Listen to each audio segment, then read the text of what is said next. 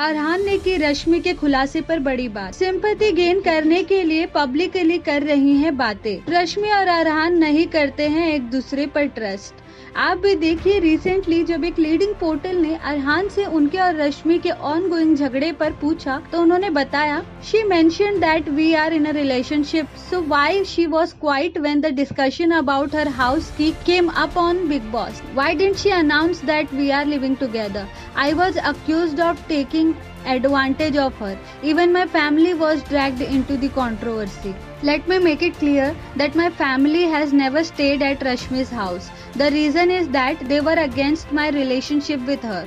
I have maintained silence on this topic because I didn't want to wash dirty lines in public. For Rashmi, it could be a way to be in the limelight. She announced the breakup in the media rather than being mature about it and telling me first. She has never gifted me a phone.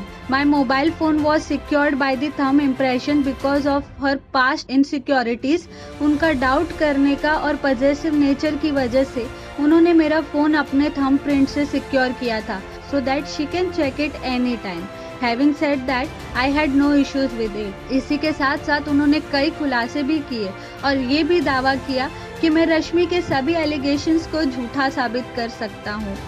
इतना सब कुछ बस उसने लोगों की sympathy gain करने के लिए किया है। वेल अरहान के इस रिएक्शन पर अब रश्मि का क्या कहना है, ये देखना काफ़ी ज़रूरी होगा।